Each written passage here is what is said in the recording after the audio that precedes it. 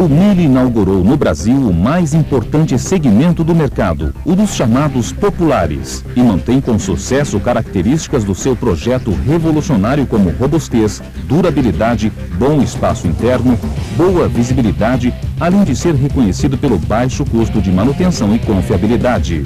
Desde o seu lançamento já foram produzidas 9 milhões de unidades em todo o mundo. Agora, a Fiat incorpora ao conhecido Mille um sobrenome, Economy, que ressalta as mudanças introduzidas pela montadora na linha 2009. Entre as principais novidades do Mille Economy está o novo motor 1.0 Fireflex, que traz uma série de soluções mecânicas que favoreceram ainda mais a economia de combustível. Para atingir essa melhoria, o motor passou por diversas modificações e foi recalibrado. Além disso, a Fiat adotou algumas novidades como o uso de um novo óleo chamado Low Friction, que faz com que o motor trabalhe com menos atrito e, portanto, economize mais combustível. A quinta marcha mais longa também garante a economia, pois faz com que o carro mantenha o motor em rotações mais baixas quando usado na estrada. Mudanças na suspensão e o uso de pneus de baixa resistência ao rolamento, cuja banda de rodagem foi projetada para reduzir o atrito com o asfalto. Com tudo isso, o Mille está 10% mais econômico em relação ao modelo anterior. Para diminuir as emissões de poluentes e ficar adequado antecipadamente aos novos níveis que entrarão em vigor a partir de 2009, uma série de medidas também foram adotadas.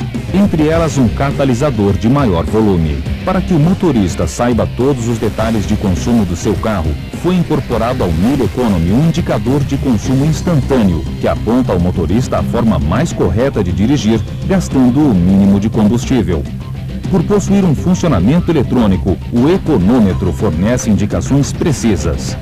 Para que o consumidor saiba como fazer o seu veículo rodar mais gastando menos combustível, o Mille Economy traz também um guia prático com dicas e instruções. Em função do sucesso do Pitway, que equipava cerca de 30% dos modelos Mille vendidos no Brasil, ele agora passa a ser uma versão. Sendo assim, o Mille passa a ser oferecido em quatro versões: Mille Fire Economy, duas e quatro portas, e Mille Way Economy, duas e quatro portas. As novas versões apresentam também novidades de estilo.